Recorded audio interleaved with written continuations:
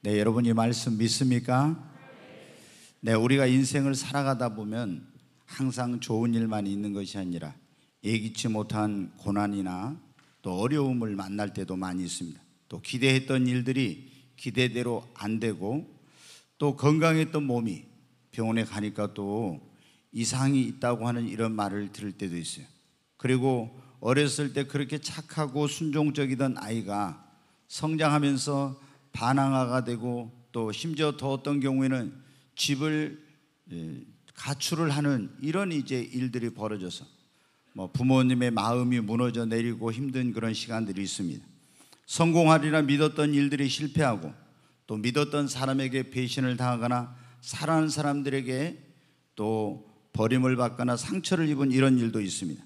그리고 내가 잘못된 누구에게가 아니라 스스로의 잘못된 선택이나 결정으로 크나큰 곤욕을 치르고 좋은 기회를 잃어버리는 그런 일들. 그래서 두고두고 후회하는 또 어느 때는 순간의 실수나 시행착오로 예기치 못한 공경을 만나고 신앙생활을 하면서도 넘어지거나 위기를 만나는 이런 일이 있습니다. 그럼 이럴 때 어떻게 돼요? 대부분의 경우 많이 실망하지요. 또 낙심하지요. 그렇지 않으면 자신에게 이런 어려움을 안겨준 사람을 타다거나 미워하거나 또 그런 어떤 마음 속에 안 좋은 그런 감정을 가지고 계속 살아갑니다. 어, 그렇지 않고 또 자신의 잘못으로 되어진 경우에는 왜 내가 그런 어리석은 일을 했는가 하면서 계속 자기를 자책하면서 이렇게 사는 분들도 있습니다.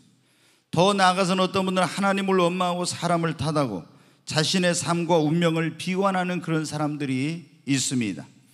그런데 오늘 이 본문의 말씀에 보면 우리에게 일어난 일들, 좋은 일뿐만 아니라 안 좋은 일까지도 모든 것이 합력하여 선을 이룰 수 있다고 말씀하고 있습니다. 다시 말해서 내 인생에 찾아온 그런 고난과 질병과 실패와 실수와 시행착오와 그리고 나의 기대대로 안 된 일들, 심지어 넘어지고 범죄했던 그런 부끄러운 일들까지도 합력해서 선을 이룰 수 있다고 오늘 이 말씀에 우리에게 말씀해 주시고 있습니다. 아마 지금 여러분 가운데 그런 분들이 계실 거예요. 어떤 기대했던 일이 잔뜩 기대했는데 기대대로 안 되는 거예요. 너무 실망감이 크죠? 또 잘못된 선택이나 결정 때문에 계속 지금 하, 그때 내가 왜 그런 결정을 후회하고 계신 분들이 있죠. 또 질병으로 고통 가운데 있는 분들도 있을 겁니다. 사업의 실패, 결혼 생활의 실패로 어려움을 겪고 있는 분들, 자녀 문제로 굉장히 고통 가운데 있는 분들, 믿었던 사람에게 배신을 당하고 아픔을 당한 그런 어떤 상처를 가지고 신음하고 있는 분들, 또 코로나 때문에 지금 얼마나 많은 분들이 힘들어하고 있습니까? 여러분, 그런데 성경은 우리에게 뭐라고 말씀하고 있습니까? 우리 인생에, 우리의 가정에, 우리의 자녀들에게 내 삶에 일어난 이 모든 일들이 합력하여 선을 이룰 수 있다고 말씀하고 있습니다. 여러분 기대했던 일이 기대대로 안 된 것이 오히려 더 잘 될 수도 있습니다. 여러분에게 불행이라고 여겼던 그 일이 여러분에게 더 큰 행복이 될 수도 있습니다. 나에게 화라고 여겼던 그것이 놀라운 복이 되고 나에게 해로운 일이라고 여겼던 그 일이 나에게 선한 일이 될 수가 있습니다. 오늘 이 본문의 말씀은 어느 때 우리에게 일어난 모든 일들이 합력하여 선을 이루게 되는지 말씀해 주시고 있습니다. 이 서신은 예수님의 그 제자인 사도 바울이 로마에 있는 성도들에게 보낸 서신입니다. 그런데 그때 로마에 있는 성도들은 어때요? 신앙 때문에 엄청난 박해와 환란과 시험과 고난 속에 있었습니다. 정말 잡히면 예수 믿는다는 것 때문에 끌려가서 감옥에 들어가고 고문을 당하고 재산을 빼앗기고 심지어 로마의 원형 경기장에 가서 사자의 밥이 되기도 하고 또 불로 화형을 당하기도 하고 어마어마한 그런 일들이 있었습니다. 그때 로마에 있는 성도들이 그런 생각을 했어요. 이것은 다 우리에게 해로운 것이야. 다 이런 것은 우리에게 화야. 나에게 아무런 유익이 없는 거야. 이런 왜 하나님은 어디 계시지? 왜 하나님께서는 침묵하고 계시는 건가? 이런 생각을 하고 있었어. 그때 사도 바울은 로마에 있는 성도들에게 말합니다. 하나님을 사랑하는 자, 고 그의 뜻대로 부르심을 입은 자들에게는 모든 것이 합력하여 선을 이루게 됩니다라고. 여러분, 우리도 살아가면서 이런 여러 가지 각가지 어려운 일들을 겪게 되는데 이것이 언제 그냥 어떤 사람은 그냥 그게 어려움으로 끝납니다. 실패했으면 그것이 인생의 실패로 그냥 끝납니다. 그런데 어떤 사람에게는 그 인생에 자기의 기대대로 안 됐던 일, 실패했던 일, 가슴 아팠던 일, 상처받았던 일, 이런 불행이라고 여겼던 일들이 합력하여 선을 이루어요. 언제 나에게 일어난 이 모든 일들이 합력하여 선을 이룹니까? 로마서 8장 28절 말씀 보겠습니다. 다시. 우리가 알거니와 하나님을 사랑하는 자, 곧 거기서부터 같이 읽습니다. 곧 그의 뜻대로 부르심을 입은 자들에게는 모든 것이 합력하여 선을 이루느니라. 여기 보면 곧 그의 뜻대로 부르심을 입은 자들에게는 모든 것이 합력하여 선을 이루느니라. 그의 뜻대로 부르심을 입은 자들에게 모든 것이 합력하여 선을 이룬다고. 그러면 그의 뜻대로 부르심을 입은 자가 어떤 사람이 그의 뜻대로 부르심을 입은 자? 고린도전서 1장을 한번 보겠습니다. 같이 읽습니다. 오직 부르심을 받은 자들에게는 유대인이나 헬라인이나 그리스도는 하나님의 능력이요 하나님의 지혜니라. 여기 보면 고린도 교회 성도들에게 바울이 편지를 보내면서 그는 오직 부르심을 받은 자들에게는 유대인이나 헬라인이나 그리스도는 하나님의 능력이요 하나님의 지혜나. 부르심을 받은 자들에게 어떤 사람이 부르심을 받은 자들은 여러분 하나님의 택함을 받고 부르심을 받아서 주님 앞에 나와서 예수 그리스도를 믿고 구원받아 하나님의 자녀가 된 사람들을 말하는 것입니다. 여러분, 오늘 이 자리에 여러분이 그냥 온 것이 아닙니다. 하나님께서 여러분을 수많은 사람 가운데 택하시고 부르셔서 이 자리에 여러분 오게 된 것입니다. 자, 26절 말씀 한번 또 보겠습니다. 형제들아, 너희를 부르심을 보라. 육체를 따라 지혜로운 자가 많지 않으며 능한 자가 많지 않으며 문볼 좋은 자가 많지 아니하도다. 예, 고린도 교회에 그랬어요. 초창기에 예수님을 믿는 사람들이 어떤 사람? 한번 보라 했어. 너희 하나님 불러서 예수 믿는 사람들. 육체를 따라 지혜로운 사람이 많지 않냐고, 능한 자가 많지 않냐고, 문벌 좋은 자가 많지 않았어요. 왜 그때 기독교를 굉장히 사람들이 오해하고 이상한 종교로 여겨가지고 그래서 좀 자기가 잘 배웠다, 똑똑하다 이런 사람들은 예수님을 여러분 어떻게 돼요? 안 믿는 이런 사람들이 많아요. 그래서 예수님 믿는 사람들이 이렇게 보니까 육체를 따라 지혜 있는 자가 많지 않으며 능한 자가 많지 않으며 문벌 좋은 자가 많지 않으며 여기서 하나님의 부르심을 받은 자라는 것은 바로 하나님께서 택하셔서 부르셔서 예수 그리스도를 믿고 하나님의 자녀가 된 사람을 말하는 것입니다. 여러분, 우리가 예수님을 믿으면은 하나님의 자녀가 되면 내 인생에 일어난 모든 일들이 하나님이 합력하여서 선을 이루게 주시는 것입니다. 여의도 순복음교회 석창우라고 하는 그런 화백이 있습니다. 근데 이분은 국내 최초의 의수 화가예요. 예, 근데 이분은 30년 전에 예, 전기 기사로 일을 했습니다. 근데 이분이 차단기를 수리하다가 그만 2만 9천 볼트의 고압 전류에 감전이 됐어요. 그래가지고 떨어지고 기절해가지고 이제 깨어나서 보니까 이 양쪽 팔이 완전히 고압 전류에서 타버린 거예요. 그리고 이 전류가 온 몸에 흘러가지고 이 발가락 두 개까지도 절단을 했어요. 그리고 12번에 아주 큰 수술을 해가지고 목숨을 건지셨습니다. 그러나 어떻게 돼요? 그 고압 전류로 팔이 타버렸기 때문에 이 팔을 두 팔을 자르고 이제 의수를 하게 되었습니다. 에, 얼마나 정말 절망적인 그런 나날 속에서 온 몸에는 말할 수 없는 고통이 오고 신음 속에서 그렇게 이제 병상에서 있었습니다. 그런데 그때 병원 전도를 나온 여의도 순복음교회 집사님이 와서 기도해 주면서 예수님을 믿으라고 하는 거예요. 근데 이분은 예수님이 누구인지 하나님이 누구인지를 몰랐던 사람인데 그 너무 고통스러우니까 이분이 기도해 준다는 거 기도를 받고 나니까 고통이 싹 사라지는 거예요. 또 고통스러웠다 이분이 와서 또 기도해 주면 그 고통이 사라지고 이렇게 해가지고 그 사고를 계기로 해서 이제 예수님을 믿게 되었습니다. 어, 그리고 이 예수님을 믿고 교회 나가서 신앙생활 하는데 어느 날 아들이 어린 아들이 그러면 아빠 그림을 그려달라고 그럽니다. 근데 이 손이 으수잖아요. 그래서 쇠로 만들어진 그 으수를 가지고 쇠꼬랑이 거기에다가 붓을 끼워 가지고 굉장히 먹을 갈아서 힘들게 이제 한 해 한 해 그어 가지고 그림을 그리기 시작했습니다.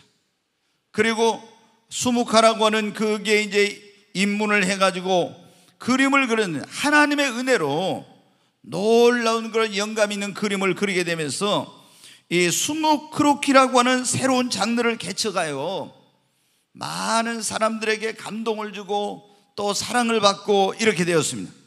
그는 환갑이 넘었을 때 그렇게 말했습니다. 하나님 없이 두 팔을 가지고 살았던 30년보다 두 팔을 잃어버리고 하나님을 믿고 두 팔 없이 살아온 30년이 더 행복하고 보람이 있는 인생이었습니다. 여러분, 우리도 이렇게 때때로 우리 인생의 소중한 것을 잃어버릴 수 있습니다. 나에게 예기치 못한 엄청난 고통과 어려움이 올 수 있습니다. 그러나 여러분 예수 그리스도를 믿고 하나님을 믿는 하나님의 자녀들에게는 하나님께서 내 인생의 실패도 내 인생의 불행 내 인생의 불행했던 일도 과거의 아픔과 상처도 성장 과정에서 불의했던 이런 모든 것들도 다 합력하여서 여러분 선을 이루게 해 주시는 것입니다. 여러분 오늘 여러분 가운데 질병 가운데 있는 분들이 있습니까? 고난 가운데 그리고 인생의 실패를 경험한 분들이 있습니까? 과거의 아픔과 상처 때문에 지금도 힘들어하고 성장 과정에서 겪은 그 불우한 환경 때문에 지금도 길을 펴지 못하고 여러분 또 전에 내가 순간의 실수와 시행착오 때문에 지금 그 고통을 현재도 겪고 있는 이런 분들이 있습니까? 여러분이 예수 그리스도를 믿고 하나님을 아버지로 모시면 하나님께서 여러분의 인생을 새롭게 해주시는 것입니다.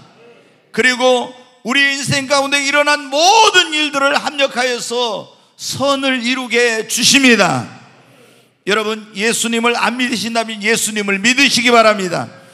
예수님을 믿으신다면 이제 여러분의 인생은 주님의 손 안에 있음을 믿으시기 바랍니다.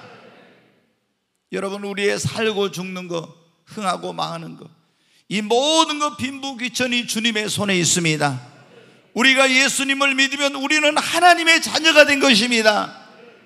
하나님, 그 하나님의 자녀가 되었기 때문에 하나님께서 나를 치유하시고 회복시켜 주시고 내 인생을 새롭게 하시고 내 인생 가운데 일어났던 모든 일들이 다 합력하여서 선을 이루게 주시는 것입니다.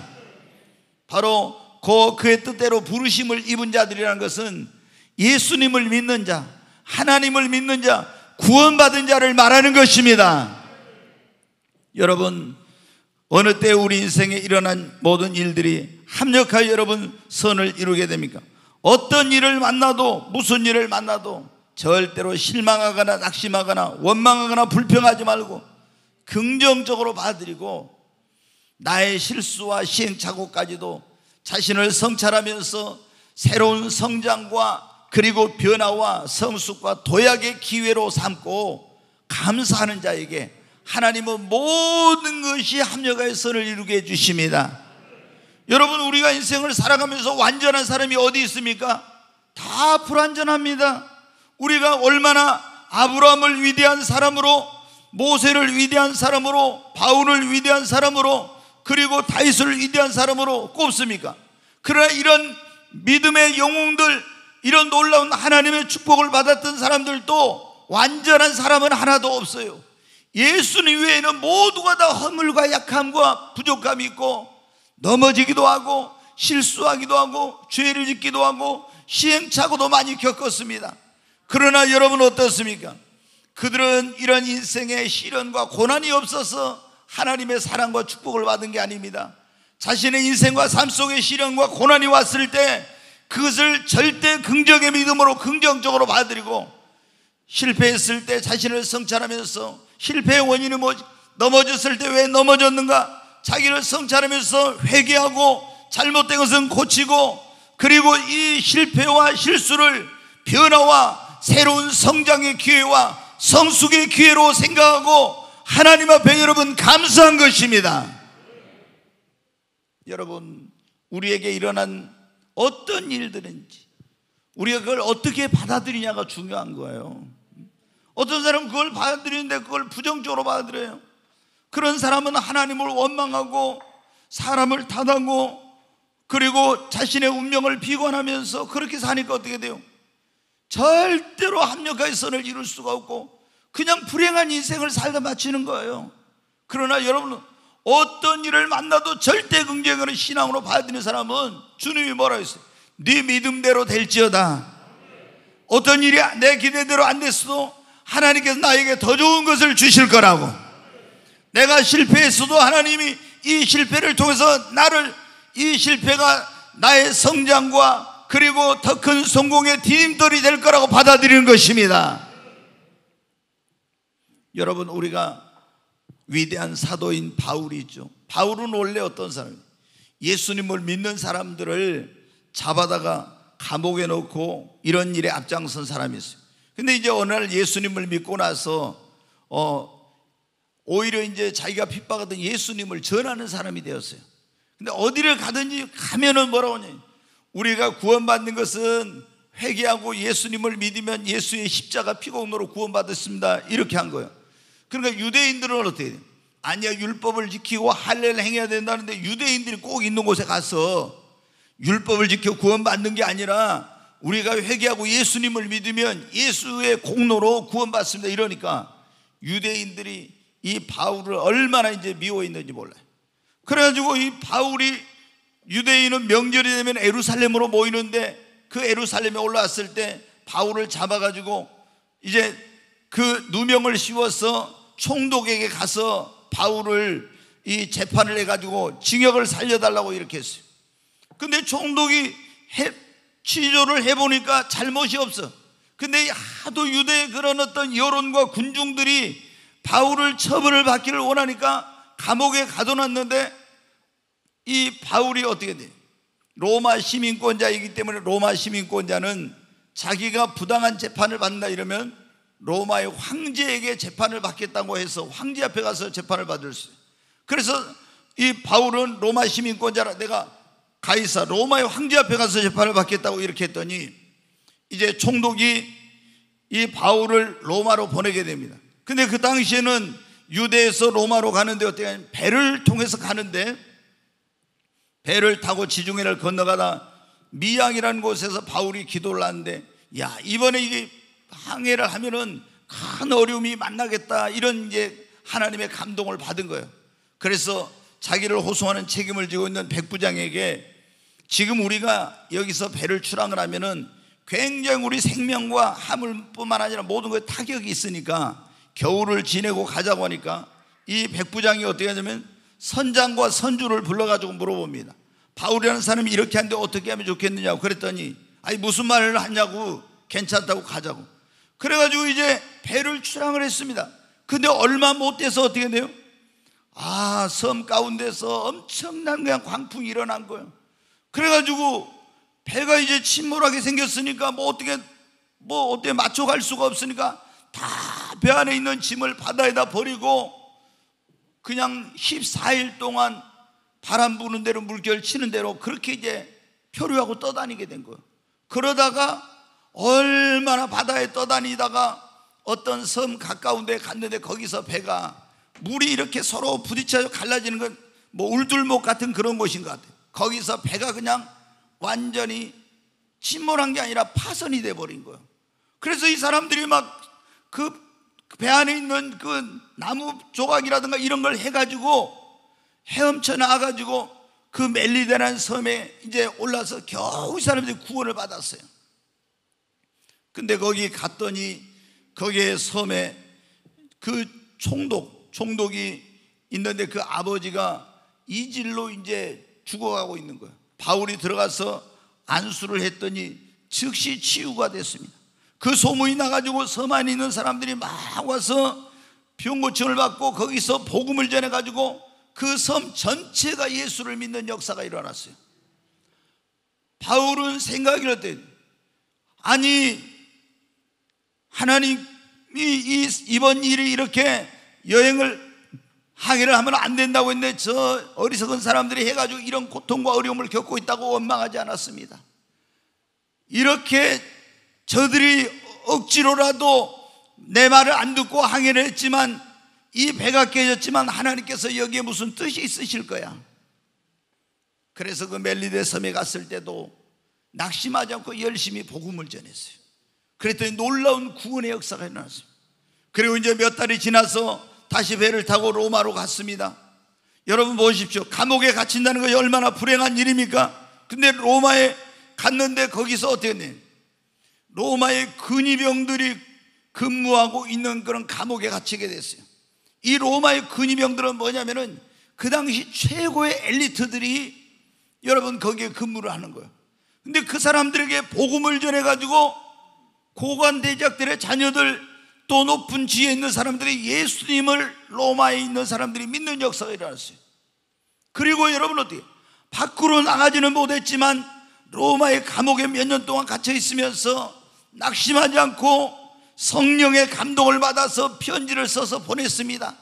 빌립보, 에베소, 골로새, 고린도 다 이런 교회들마다 편지를 보냈어요. 근데 그것이 여러분 어떻게 됩니까? 오늘 신약 성경이 돼가지고 신약 성경의 열세 권의 바울 서신이라는 성경이 된 거예요. 만약에 바울이 감옥에 갇히지 않고 돌아다니면서 복음을 전했으면 이 열세 권의 성경을 기록할 수 없었어요. 감옥에 들어갔지만 낙심하지 않고 하나님께서 나를 이곳에 보내신 뜻이 있다. 긍정적으로 생각하고 원망하지 않고 감사했더니 하나님께서 놀라운 영감과 지혜를 주셔가지고 여러분 이런 엄청난 역사를 이루게 된 것입니다. 하나님을 사랑하는 자, 그, 그 뜻대로 부르심을 입은 자들, 예수님을 믿는 자들은 무슨 일을 만나도 원망하거나 불평하거나 낙심하지 말고 긍정적으로 받아들여야 됩니다. 감사해야 됩니다. 그리고 그것을 자신의 변화와 성장과 성숙의 기회, 새로운 도약의 기회로 삼으시기를 바랍니다. 그러면 이 모든 것이 합력하여서 뭐를 선을 이루게 되는 겁니다. 우리가 상상도 못할 그런 일이 일어나는 거예요. 여러분, 오늘 모든 것이 합력하여 선을 이루면 세 번째, 변함없이 하나님을 사랑해야 합니다. 로마서 8장 28절 다시 보겠습니다. 우리가 알거니와 하나님을 사랑하는 자, 그 그의 뜻대로 부르심을 입은 자들에게는 모든 것이 합력하여 선을 이루느니라. 여기 보면 우리가 알거니와 하나님을 사랑하는 자라고 그러잖아요. 그 그의 뜻대로 부르심을 입은 자들에게는 모든 것이 합력하여 선을 이룬다고.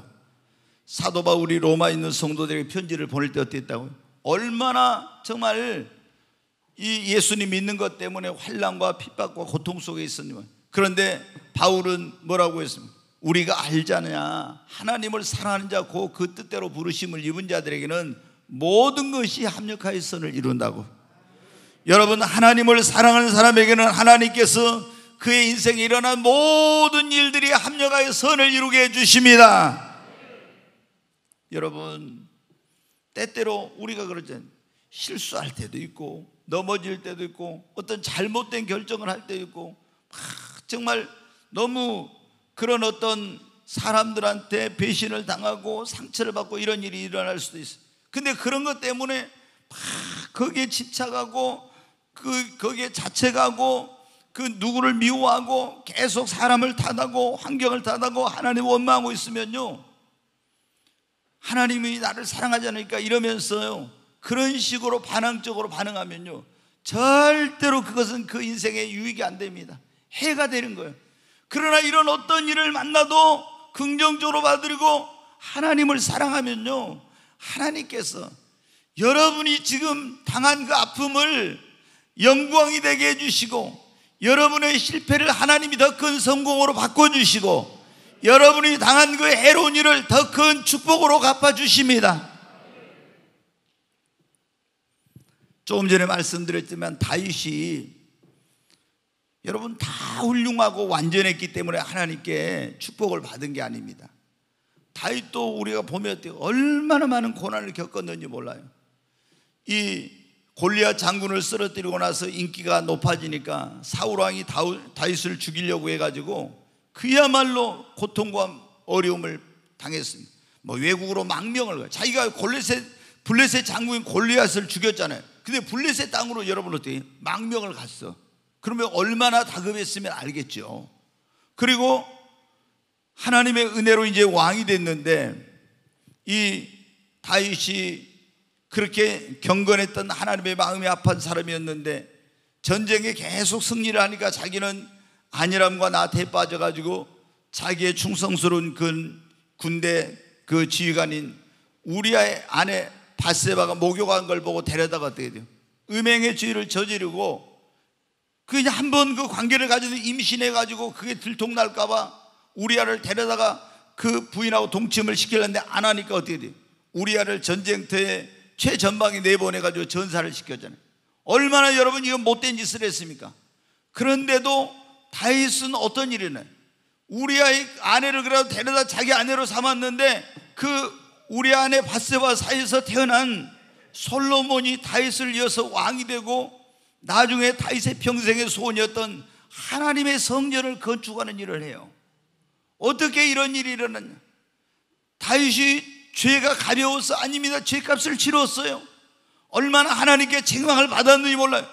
그러나 이런 허물과 실수가 있음에도 불구하고 그 중심 안에 하나님을 사랑하는 그런 마음이 있었기에 하나님께서는 그의 허물과 죄를 용서해 주시고 실수한 것까지도 하나님께서는 합력하여 선을 이루게 주신 것입니다. 여러분, 완벽한 인간은 아무도 없어요. 다 우리는 실수합니다. 넘어집니다. 그리고 잘못된 선택이나 결정도 하고 이런 일들을 해요. 그런데 우리가 항상 기억해야 될 것, 내 중심 안에 하나님께서 내가 완벽해서 완전해서 여러분 나를 축복해 주시고 나를 쓰시는 게 아닙니다. 정말 가장 하나님께서 원하는 게 뭡니까? 마음을 다하고 성품을 다하고 뜻을 다하고 힘을 다해요. 주 하나님을 사랑하는 것을 원하시는 겁니다. 아멘. 여러분이 어떤 일이 여러분의 기대대로 안 되고 여러분이 실수하고 실망스러운 그런 일이 있을 때도 여러분이 기억해야 됩니다. 정말로 내가 마음을 다해서 하나님을 사랑해야 되겠다. 그리고 하나님을 최고로 사랑해야 되겠다 하고 전심으로 하나님을 사랑하면 하나님께서는 여러분의 허물도 덮어주시고 여러분을 축복해 주십니다. 네, 여러분 보세요. 자, 부모님들이 자녀를 사랑하니까 어떻게 돼요? 자녀의 허물을 덮어주잖아요. 하나님께서 우리를 사랑하니까 그 십자가 예수님의 보혈로 우리의 모든 허물을 덮어주신 하나님이 내가 정말로 하나님의 자녀로서 하나님을 사랑하면 하나님께서 여러분 어때? 나의 삶에 일어나는 모든 허물과 실수도 다 덮어주시고 하나님께서 내 인생에 일어나는 모든 일들이 합력하여 선을 이루게 해 주십니다. 여러분, 저는 이제 완전한 인간이 아니죠. 저 제가 이제 완벽주의 기질이 있는 그런 사람인데 그래도 어떻게 저 실수도 많이 하고요. 그리고 시행착오도 많이 하고 나중에 아니 내가 어떻게 이렇게 기도도 안 해보고 어떻게 사람 말만 듣고 내가 어떻게 이런 일을 이렇게 쉽게 막 하면서 아, 잘못된 결정이나 시행착오나 실수나 이런 걸 하고 나서 막 후회할 때가 있었어. 그런데 계속 그거 후회하고 있으면 어떻게 합니까? 그 문제가 해결됩니까? 이미 엎질러진 물은 담을 수 없는 것처럼 이미 어떤 되어버린 일은 되돌릴 수 없는 게 있어요. 그때 제가 어떻게 돼요? 이 로마서 8장 28절 말씀. 우리가 알거니와 그런즉 하나님을 사랑하는 자, 그, 그 뜻대로 부르심을 입은 자들에게는 모든 것이 합력하여 선을 이룬다고. 그래. 그래, 나는 부족하고 허물이 많은 인간.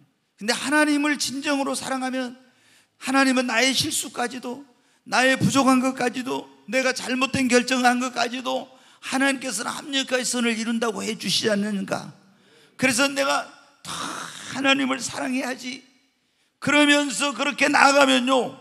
하나님께서 정말 내가 실수한 거, 내가 잘못된 결정을 한 거, 아, 너무 후회스러웠던 이런들, 이런 일들까지도 나중에 보면 하나님께서 전화 이복이 되게 해주시고 합력하여 선을 이루게 해주시더라고요. 여러분도 살아가면서 그런 적이 있을 거예요. 막 뭐 잘못된 결정이나 어떤 거 해놓고 너무 아, 왜 내가 이런 일을 했지 하면서 이제 어떻게 해야 되지 막. 또 억울한 일을 당하기도 하고 말이에요. 여러분, 우리가 하나님을 사랑하면 하나님께서 뭐라 했어요? 모든 것이 합력하여 선을 이루게 해주십니다. 제가 지난번에도 그런 말씀을 우리가 이 성전 건축하면서요, 이 교회당 건축하면서 이제 일곱 군데 건설사를 불러서 제가 첫 번째 이제 목회할 때 교회 건축을 하면서 굉장히 시행착오를 했었거든요. 아우 제가 그때는 너무 초신자가 이제 아니 그 뭐 목회 경험이 없어가지고 집사님이라고 하면 그냥 다 주님 믿듯이 믿었어요.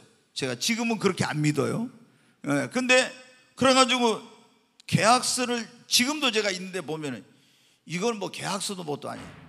그런 걸 써놓고 뭐라고 얘기를 했냐면은 이제 집사님 도장 딱 찍고 집사님이 나는 두 가지 일 못하니까 다 알아서 해가지고 열쇠만 갖다 줘요. 그랬어요. 목사님 걱정하지 마세요. 그러더라고요. 근데 나중에 이제 보니까 그게 아닌 거예요. 엄청 이제 막 별별 여러 가지 요구를 하고 그래서 제가 이제 목회를 하면서 나중에 또 성전 건축할 일이 있으면 그때는 정말 성전 건축을 준비를 철저히 해가지고 이제 잘해야 되겠다.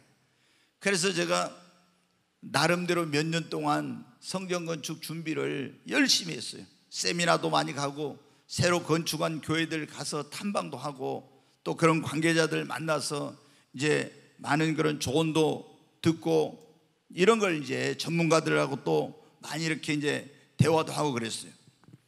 그래가지고 이제 이 결정을 일곱 군데 경쟁 입찰을 해서 시공사를 선정을 했는데 시공사 사장님이 그러더라고. 어, 아니 주변에 있는 분들이 그렇지 않대. 목사님, 이 공사를 할 때 도장을 찍기 전에는 건축주가 갑인데 도장을 찍고 나면 건설사가 갑이 됩니다. 바뀐대요. 제가 실감을 못했어요. 그런데 이제 이분이 하도 막 신뢰감 있게 하니까 그랬는데 딱 진짜 계약서에 도장을 찍고 나니까 갑과 을이 딱 바뀌더라고요. 아니 내가 돈 주고 건, 건축하라고 하는데 내가 갑이 아니고 내가 을이 되고 그 사람이 갑이 되더라고요. 그래가지고 나보다 맨 목사님 어디 외국에 그냥 안식년 갔다 오십시오. 제가 건축 다 해가지고 목사님 열쇠 갖다 드리겠 이럴 정도였어요 이 사람이. 그런데 아니 건축 시작하고 나서 나타나질 않아요. 그래서 제가 이제 전화를 해가지고 사장님 좀 오라고 그래 이제 맛있는 거 사주면서 아니 왜 사장님 그때 약속한 거하고 어 이게 그렇게 하지 않느냐고 그랬더니 왜 와보지도 않고 그래서 다 끝나고 밤에 온다는 거예요. 그래서 제가 아니 왜 밤에 옵니까? 여기 소장들 여기 일하는 회사 직원들이 있는데 와가지고 그 사람들 좀 밥도 사주고 격려도 하고 이렇게 하면은 얼마나 회사에 더 충, 충성하겠어요. 그런데 아 아니다는 거예요. 근데 여러분 어때요? 이분이 약속한 거하고 영 틀리더라고. 그래가지고 저희가 이제 그 기성을 입금을 시키면은 공사비를 돈이 어디로 싹 가버려. 하도업체로 가야 되는데. 야 그래가지고 하도업체를 돈을 안 주니까 하도업체가 공사를 이제 제대로 안 하는 거예요 땡깡을 부려. 그래가지고 막 하도업체하고 이 우리가 맡겨진 시공사하고 이제 막 재판을 하고 공사가 늦어지는 거예요. 너무 힘든 하나님 앞에 어떻게 기도하면서 이 계약 조건을 안 지켜서 어떻게 이제 법적으로 하자니 그러고 그래서 막 기도를 했습니다. 그리고 공사가 한 1년 가까이 늦어졌어요. 그러니까 어떤 사람들은 지나가면서 그랬다 하더라고요. 이제 건물이 빨리빨리 안 지어지니까 예수님 믿는 사람들은 지나가면서 저 교회 부도 안 나게 주님 공사 잘 되게 해주세요 이렇게 기도하면서 지나갔대요. 근데 이제 제가 돌이켜 봤어요. 그리고 그때도 제가 그런 마음을 먹었어요. 하나님을 사랑하는 사람에게는 모든 것이 합력하여 선을 이룬다고 했으니까 하나님이 늦어진 것까지도 우리가 그때 돈이 없으니까 몇십억 대출을 받았는데 PF라고 해서 이 신용대출입니다. 담보대출이에요. 그러면 이자가 높아요, 이게. 빨리 공사를 끝내가지고 담보대출로 전환해야 되는데, 어, 공사가 늦어지니까 뭐 얼마나 힘들겠어요. 근데 하나님이, 하나님을 사랑하는 사람에게는 모든 것이 합력의 선을 이룰 거야. 그리고 원망하지 않았어요. 낙심하지 않았어요. 그랬더니 공사는 좀 늦어졌지만 여러분 어때요? 지금 여러분이 보시는 것 같이 이렇게 아름다운 성전이 건축이 된 거예요. 제가 그냥 빨리빨리빨리 이렇게 했으면 여러분 어때요? 인테리어를 이렇게 아름답게 할 수가 없었어요. 빨리 그냥 모든 걸 다 해야 되니까 대충 어느 정도만 하면 오케이 해야 되는데 이 공사가 늦어지니까 어때요? 대한민국에서 제일 잘한다는 업체들 있죠. 뭐 명성교회, 사랑의 교회, 막 연세중학교 이런 교회 한 업체들 다 오락해 가지고 대한민국 최고의 어떤 인테리어 업체들 오락해 가지고 경쟁을 시킨 거예요. 어, 잘 해봐라. 그리고 내가 어떤 나는 이런 어 그 영적인 이런 의미를 담아야 된다 이런 걸 이제 해주면서 근데 못 하더라고. 그러면 또 해가지고 오겠다고 막 그래. 제 마인드가 마음에 든다고 돈 안 벌어도 좋으니까 목사님 저는 꿈의 교회를 하겠어요. 막 하면서 막 하더라고요 근데 그 결국에 어떻게 돼요? 늦어진 것 때문에 더 잘하게 돼서 조금 1년 정도 늦어졌지만 이 건물은 어떻게 돼요? 적어도 반세기 이상은 가잖아 한 번 지으면은. 그 얼마나 감사하게 된 거야. 여러분 그러니까 하나님을 사랑하는 사람에게는 모든 것이 합력의 선을 이룹니다. 여러분 지금 여러분의 기대대로 안 되고 실수하고 뭐 시행착오하고 안 좋은 일이 있습니까? 낙심하지 말아요. 하나님을 정말 여러분이 신뢰하고 진정으로 하나님을 여러분이 사랑하면 하나님은 상상도 못할 방법으로 여러분에게 내가 이건 불행한 일이라 안 좋은 거라고 얘기했던 그것마저도 합력의 선을 이루게 해주십니다. 여러분, 언제 우리에게 일어나는 모든 일이 합력의 선을 이룹니까?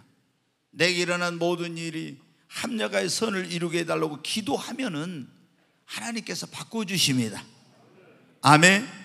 다니엘은 바벨론 땅에 포로로 끌려갔습니다. 그런데 얼마나 불행한 일이죠. 하나님께 기도했어요. 하나님 하루에 세 번씩 시간을 정해놓고 이 바벨론 땅에 부모와 헤어져서 뿔뿔이 형제들과 흩어져 가지고 이 머나먼 이국 땅에 포로로 끌려왔는데 하나님 내가 이 포로로 끌려온 이것이 내 인생의 해가 아니라 복이 되게 해주세요.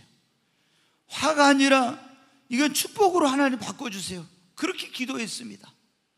아무도 도와줄 사람이 없었지만 하나님이 이 해를 선으로 화를 복으로 바꿔달라고 모든 것이 합력의 선을 이루게 해달라고 그랬더니 여러분 어떻게 돼요? 하나님이 그 기도한 대로 왕립학교에 들어가게 돼요. 시험이 왔을 때도 하나님께 또 이것을 하나님을 증거할 수 있는 살아계신 하나님을 증거할 수 있는 기회가 되기를 기도했어요. 자기 힘으로 능력으로 할 수 없으니까. 그때 하나님이 또 그거를 기회로 바꿔주세요. 느부갓네살 왕이 꿈을 꿨는데 꿈도 안 가르쳐주고 꿈과 해몽을 알게 하라고요. 이걸 모르면 다 죽인다는 거예요. 근데 다니엘은 어떻게 했습니까? 왕이여 며칠만 기한을 주십시오. 그리고 하나님 이 세계를 지배하려는 바벨론 제국의 박사와 술사와 점장이 아무도 이거 해석 못하는데 꿈과 해몽을 알지 못하겠네. 하나님이 이걸 알게 하셔서 하나님 살아계심을 증거하게 해주세요. 이게 지금 꿈과 해몽을 알게 하지 못하면 죽게 되는데 하나님 이게 복이 되게 해달라고 기도했어요. 그랬더니 하나님이 어떻게 돼요? 환상 중에 꿈과 해몽을 가르쳐 주세요. 여러분 바벨론이 페르시아에 멸망하고 페르시아에서 또 승승장구하게 되었습니다. 총리가 됐는데 시기하는 사람들이 사자굴에 집어넣는다고 했어요. 하나님의 누구에 기도하면 그러나 기도했습니다. 그리고 하나님께 이렇게 기도했어요. 하나님, 내가 만난 이 시험이 하나님 살아계심을 증거하게 해주. 이 해로운 것이 선이 되게 하시고 화가 복이 되게 해주세요. 기도했습니다. 그랬더니 여러분 어떻게 됐습니까? 사자굴에 들어갔는데 하나님이 천사를 보내서 사자 입을 막아가지고 다니엘이 진짜 하나님의 사람이요. 다니엘이 믿는 하나님이 진짜 하나님이라는 걸 증거해가지고 더 높여졌습니다. 오히려 사자굴에 들어간 것이 화가 복이 됐습니다. 여러분, 우리도 어떨 때 사지로 끌려가는 것처럼 이제는 죽었구나, 이제는 망했구나, 이제는 끝났구나 이런 어떤 상황에 접할 수가 있어요. 그때도 여러분 실망하지 마십시오. 하나님 앞에 절대 긍정의 믿음으로 이걸 받아들이고 화를 복으로 바꾸시는 하나님, 내 인생에 일어난 모든 일들이 합력하여 선을 이루게 해달라고 여러분이 기도하시기 바랍니다. 그러면 하나님께서 모든 것이 합력하여 선을 이루게 해주세요. 아멘. 저는 그래서 지금은 실망하지 않아요. 목회하면서 제가 제일 처음에 힘든 게 제일 힘들었던 게 뭐냐면은 저는 사람을 한번 믿으면 끝까지 믿고 의리를 중요시 여긴데 아니 아무리 그렇게 막 도와주고 뭐 나름대로 열심히 해도 이렇게 사람들이 떠나가고 배신하고 할 때 너무 상처가 되고 힘들었어요. 근데 지금은 제가 절대 긍정의 마인드를 가지고 그렇게 이제 사니까 상처받지 않아요. 어떤 분이 여기서 열심히 떠나가면 하나님 감사합니다. 그동안도 열심히 같이 일할 수 있게 하나님 섬길 수 있게 해주신 것. 하나님이 이제는 그분이 여기까지였지만 더 좋은 일꾼들, 더 훌륭한 동역자들을 보내주실 줄 믿습니다. 그리고 기도해요. 뭐 하나님이 그렇게 정말 믿음대로 역사해요. 여러분, 거기에 계속 내가 너를 이렇게 해줬는데 네가 그럴 수 있어 이렇게 하고 있으면 여러분 내가 망가지는 거예요. 그러니까 절대 긍정의 믿음을 가지고 하나님을 사랑하는 자 그리고 이 해를 손으로 바꾸실 수 있는 능력이 있으니 하나님께 모든 것이 합력하여 선을 이루게 해달라고 여러분 기도하시기 바랍니다. 이제 한 가지만 말씀을 드리고 마치도록 하겠습니다. 여러분이 시련과 고난과 어려움이 와도 흔들지 않는 믿음을 가지고 하나님과 동행하고 하나님을 섬기면요. 하나님이 때가 되면 다 합력하여 선을 이루게 해주십니다. 성경에 여러분 보면요. 하나님이 금방 우리를 막 축복해 주시고 모든 합력하여 선을 이루게 해주시고 이게 아니에요. 언때는 빨리 해주실 때도 있지만은 이제 하나님께서 진짜 그걸 보게 되게 해주실 때는 시간이 걸립니다. 우리가 성경에 보면 요셉이라는 사람이 나오죠. 요셉이 어떻게 돼? 그 야곱에게 부인이 네 명이 있었는데 가장 사랑하는 라헬이라고는 그 여자에게서 태어난 첫 번째 아이가 요셉이라. 그래서 이 요셉을 끔찍이 사랑하니까 다른 배다른 그 형제들이 어때 미워해 가지고 결국에 어때 애굽에다가 노예로 팔아버렸습니다. 그래가지고 부모 형제를 떠나서 머나먼 이국 땅에 노예로 팔려가지고 가지고 보디발의 집에 가서 종살이 했어요. 그런데 여러분 어때요? 막 마음속에 형제들을 원망하고 미워하면서 이놈들 내가 막 이를 갈고 이렇게 있었으면요. 하나님 또 하나님이 어디 계십니까? 하나님 계시면 이런 일이 일어날 수 있습니까? 하나님이 사랑한다면 어떻게 이런 일은 이렇게 하지 않았어요. 내가 왜 이런 일을 당한지 모르지만 하나님 그분이 이 모든 걸 합력하여 선을 이루게 해 주실 거야. 그리고 변함없이 하나님을 사랑하고 신실하게 믿음 생활하면서 하나님과 동행했습니다. 그랬더니 보디바리 집에서 인정을 받아가지고 하는 것마다 하나님 축복해 주시니까 가정의 총무가 됐습니다. 모든 걸 관리하는 사람이 된 거예요. 그런데 보디발의 아내가 요셉이 했음하니까 또 유혹을 하는 거예요. 그게 그걸 물리치는데 집안에 아무도 없을 때 옷을 잡고 늘어지니까 그 옷을 놓고 도망쳤더니 자기 남편이 이 경호실장 보디발이 오니까 저놈이 나를 강간하려다 소리 지르니까 놔도 도망쳤다고 해가지고 어때? 감옥에 갔습니다. 여러분 얼마나 억울한 누명을 쓴 거예요. 열심히 그 집에서 일했는데 하나님이 이런 억울한 일을 당하게 할 수도 있습니까? 어, 이런 일을 당할 수도 있냐고 이를 따질 수 있잖아요 여러분 여러분이라면 어떻게 아마 저 같으면 하나님이 이런 일이 있을 수 있습니까? 막 이럴 수도 있어요 근데 하나님 믿어도 소용없구나 이러지 않았습니다 요셉은 여전히 하나님을 사랑하고 하나님과 동행했어요 그랬더니 거기서 여러분 어떤 일이 일어납니까? 애굽의 최고위직에 있는 술 맡은 관원장과 떡 맡은 관원장 왕의 최측근들이 어떤 일로 인해 가지고 그 감옥에 왔는데 거기서 그 사람들을 만나게 된 거예요. 그리고 그들의 꿈을 꾸었을 때 꿈을 해석해 주는데 떡 맡은 관원장은 3일 만에 목이 날아가고 술 맡은 관원장은 3일 만에 복직이 될 거란데 그대로 됐어요. 그때 요셉이 말합니다. 당신이 3일 만에 복직이 되면 나를 여기서 나오게 달라고. 그런데 여러분 어떻게 돼요? 이 복직된 술 맡은 관원장이 까마득 잊어버렸어. 그리고 2년의 시간이 지나갔어요. 근데 여러분 보십시오. 그 감옥에서 이제 언제 뭐 종신형이나 마찬가지인데 그렇게 살고 있는 낙심하지 않았습니다. 하나님과 함께 했어요. 근데 2년이 지나서 애굽의 왕 바로가 꿈을 꿨는데 앞으로 7년간 풍년이 들고 또 7년간 그걸 이어서 흉년이 들까는 꿈이었는데 그 꿈을 내용을 모르는 거야. 아무도 해석을 못 해. 그래서 그때 술 맡은 관원장이 아, 자기 꿈을 해석해 줬던 요셉을 생각하고 왕에게 요셉을 청구해 가지고 요셉이 이제 가서 왕의 꿈을 해몽해 가지고 애굽의 총리가 됩니다. 그래 가지고 애굽을 구원하고 그 가나안 땅에까지 기근이 드는 자기 가족들까지 다 구원하는 이런 놀라운 일을 하게 되고 하나님의 축복을 받고 쓰임을 받게 됩니다.